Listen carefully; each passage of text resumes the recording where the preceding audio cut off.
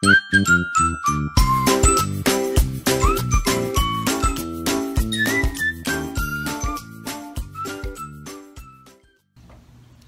everyone! My name is Bailey from the Carnegie-Stout Public Library. Today I'll be showing you how to build a newspaper fort. We'll use a lot of engineering and some art because we'll have a chance to be creative. Here we go. Before we can start building, we'll need to make our building blocks. You can see one of them here. To make the building blocks, you will need two sheets of newspaper. You'll want to spread that out flat and then turn one corner towards yourself.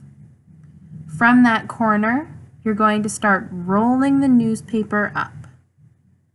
As you do this, make sure that you're rolling it as tightly as possible so that the building blocks are nice and strong. Once it's rolled all the way up, you're going to want to secure the flap with a piece of tape. If you can keep the cat away, you want to make as many of these as you can, ideally around 50. Once you have them all made, you can start building your building blocks. Take two of them and form an acute angle and staple them together. If you don't have a stapler, you could use tape at this step too. Complete the triangle and tape the remaining two ends together. Now you have a complete building block.